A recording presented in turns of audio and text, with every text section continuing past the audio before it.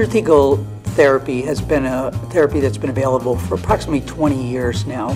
It started actually as an approach to treat individuals with spasticity. And in the late 90s, morphine was placed intrathecally and subsequently was approved for continuous infusion therapy in certain populations of patients.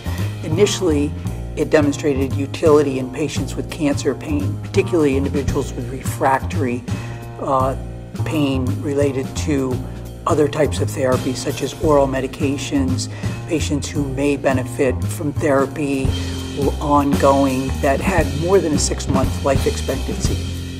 The demonstration of efficacy in cancer pain patients then was sort of the nidus for looking at it in non cancer pain, particularly with the entire um, change in the mindset about utilizing opioids for the treatment of chronic non cancer pain.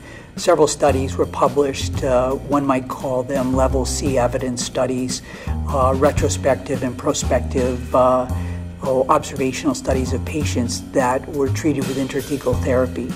And what they were able to demonstrate is in well selected populations of individuals, patients who had either responded to therapies orally but had suboptimal responses as far as improvement in pain control, were psychologically stable uh, candidates for uh, a implantable type of system, uh, and clearly had demonstrated efficacy with a trial of intrathecal opioid therapy over a two to five day period of time. These patients demonstrated significant benefit as far as improvement in the quality of their life, decreasing side effects related to the oral medications that may have only partially addressed the pain that they had. And the other added benefit was uh, pharmacoeconomic studies suggested that you could actually save on the long term use of oral medications based on the fact that you actually were able to control individuals with very small amounts of medication. So there were no, multiple different benefits.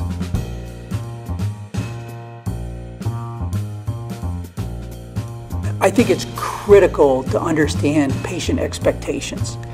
Uh, and it's important to understand, as you've probably heard in multiple different lectures, that we're talking about a chronic pain condition a condition that we can't eliminate the underlying etiology of the ongoing uh, systemic pain that somebody suffers from.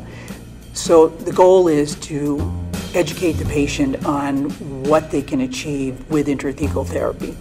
And it goes back to the expectations of having lower side effects, improving the quality of their life, simplifying their medication regimen, but yet understanding that this is not a panacea. It won't eliminate their pain.